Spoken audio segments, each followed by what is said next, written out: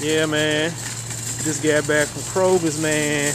We got the gas. We got the snacks. Now we about to get to the Nationals. Go ride right there. I'm not going to show it in this video. I'm just going to point down into the shopping cart.